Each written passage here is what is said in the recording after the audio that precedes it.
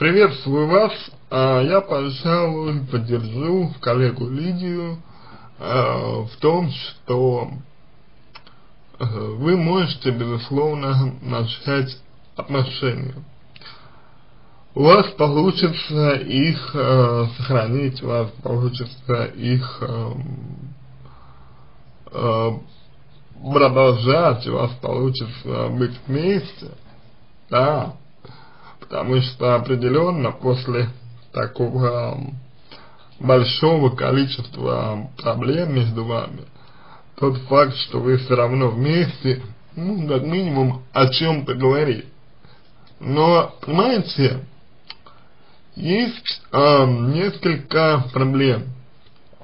Во-первых, э, я не соглашусь с коллегой Лидией в том, что э, ну, в том, что у вас обязательно может наступить, наступить э, как бы процесс возвращения проблем, э, потому что может быть э, такая ситуация, что каждый из вас для себя вот э, какую-то часть проблем э, все же решил. И это как бы позволило вам э, быть вместе. То есть вот этот момент со счетов сбрасывать нельзя никак. То есть еще раз, а, очень может быть, что благодаря тому опыту, что вы получили, а, очень может быть, а, проблемы уже не вернутся. Конечно, мы этого знать не можем безусловно. Но пока можно говорить так, что раз вы вместе, значит, скорее всего, э, велика вероя вероятность, точнее, того, что ваша проблема, если не исчезнет до конца, то, по, по крайней мере, хотя бы как-то уменьшили свое, уменьшили свое значение. Хотя, безусловно, э, говорить о том, что они прям вот э, перестанут э, давать о себе знать, э, я бы не стал. Просто потому, что это не, еще не известно. И вот, э, если говорить о том, что вам делать, если говорить о том, что вам можно сделать, если говорить о том, как вам себя вести, то простить, простить то, что э, между вами было, безусловно, может. Я бы даже сказал, что нужно, потому что, ну, действительно, кто не ошибается. Проблема в другом. Ушло ли то, это то, о чем говорила Лидия, только я немножко более подробно об этом скажу. А ушло ли то, а, что провоцировало, например, мужчину на обман? Ушло ли то, э, что вызывало между вами конфликт? Вот в чем главный и, э, наверное, основной вопрос и проблема. Потому что э, если мотив, если стимул остался, стимул, ну, вести себя так, стимул поступать так и так далее, да, если стимул остался, то проблемы действительно вернутся к вам снова, к сожалению. Это, а, ну, это факт. Факт это объективный. Если проблемы остались, они будут. Если стимул для этих проблем остался, стимул для там, такого вот поведения со стороны мужчины, со стороны вас, то есть с вами что-то двигалось, когда вы делали какие-то плохие вещи, вот, а, то проблемы вернутся. И это вопрос не желание каждого из вас причастить вам боль. Это вопрос о потребностях. То есть у каждого из вас есть свои потребности. Вот от того, насколько вы полно эти потребности друг другу удовлетворяете, или будете удовлетворять, или насколько полно вы будете рассказывать друг другу, ну, например, о том, э, что вас там волнует, например, о том, что вас беспокоит, о том, чего вы хотите, если вот между вами этот аспект будет, то можно говорить о том, что э, вместе вы, вы э, сможете быть. Но если вы по-прежнему э, будете вести себя так же, как раньше, то все это, к сожалению, временно тогда. Потому что, ну, я надеюсь, вы понимаете, а, даже если вы а, простили друг друга, это еще совершенно не значит, не значит что а, проблема ушла. Как, в принципе, и сказала Линда, коллега Линда. А, как вам себя вести человек? Ну, во-первых, а, надо сказать, что к, к негативным моментом в ваших отношениях а, привели какие-то модели поведения.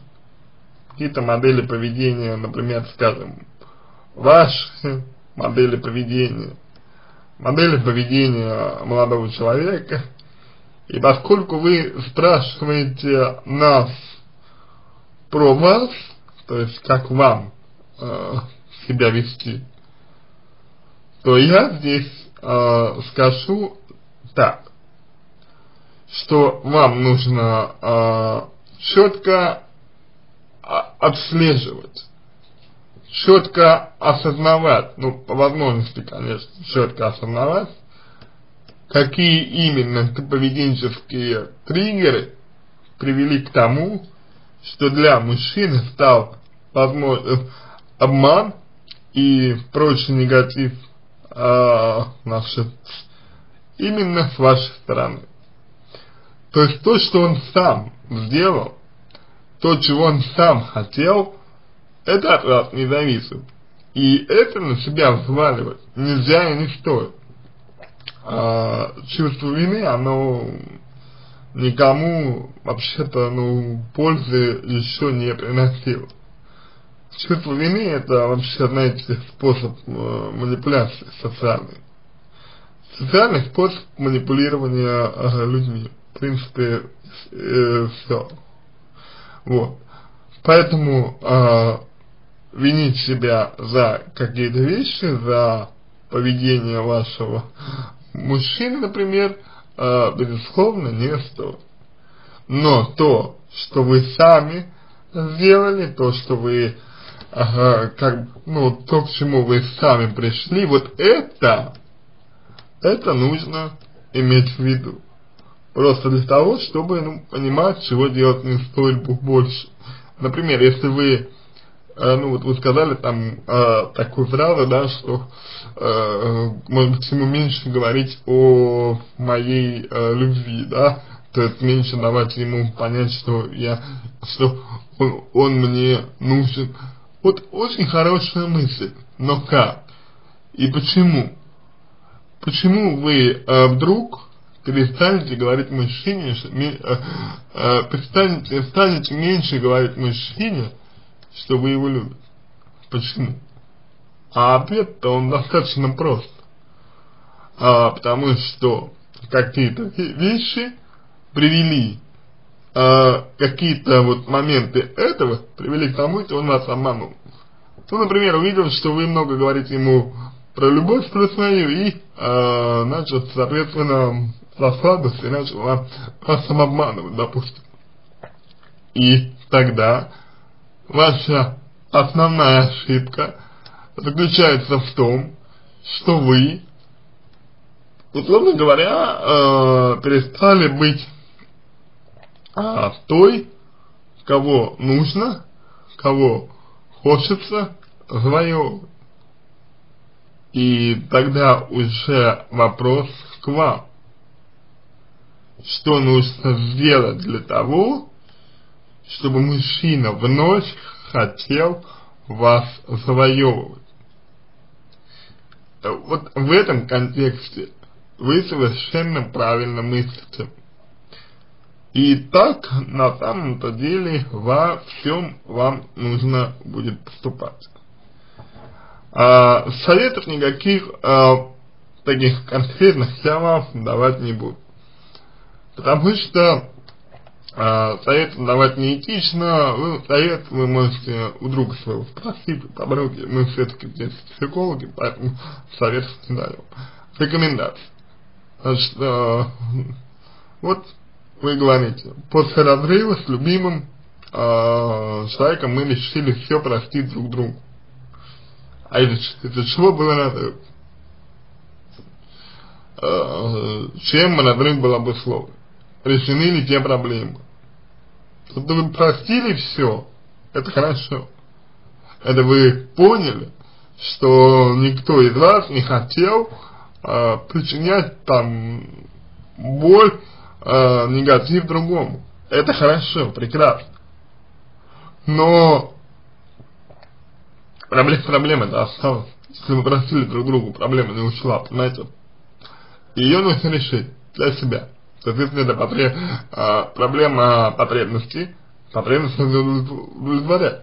Потому что она будет давать о себе знать, и из-за этого будет расти неудовлетворенность.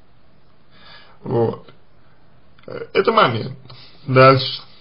А, причем работать вам желательно бы вдвоем. Вот. Дальше. А, шили вы два года вместе, мы были два года вместе, а, с его стороны был обман. То какой обман? Все обман. Почему обман? С вашей стороны из, измена. Зачем? Почему вы решили изменить и так далее. Непонятно. А, дальше. Значит, вот вы а, пишете, он для меня самый лучший, а, и так далее. Но если он для вас самый лучший, зачем вы ему изменяли? На зло. Если вы друг другу делаете на зло, то что стоит кому-то из вас ошибиться, и другой человек будет также поступать на зло. И какой тогда, простите, смысл в том, что вы выстраиваете свои отношения? Это действительно, да, первая ошибка. Обман, если это не было измены, ну, наверное, не было измены, раз это обман. А обман был связан с чем? С тем, что человек хотел поступить так, как он считал нужным, но знал, что вы не примете его позицию. Значит, что между вами нет доверия. Почему между вами нет доверия? И как без доверия может, можно э, строить отношения? Очень, очень интересный вопрос. На него нужно отвечать. Далее, значит, эм, вы спрашиваете, как вести себя человеком, ну, собственно, знаете, вот на этот, эм, этот момент, в принципе, я раскрыл, как вести себя человеком. Да, наверное, только совершенно точно можно сказать, что не так, как раньше, потому что, когда вы вели себя так, как раньше, ничего хорошего из этого вообще не получилось. Был обман, была измена, был, было что-то еще, ну, в общем, а так делать, как раньше, нельзя. А вот коррективы в ваше поведение и отношение к нему нужно вносить, исходя из конкретного разбора проблем, которые у вас есть. Я думаю, только так. На этом все. Надеюсь, что помог вам. Если какие-то вопросы остались, обращайтесь в личку «Помогу». Если вам понравился мой ответ, буду благодарен, если сделаете его лучшим. Желаю вам всего самого доброго и удачи.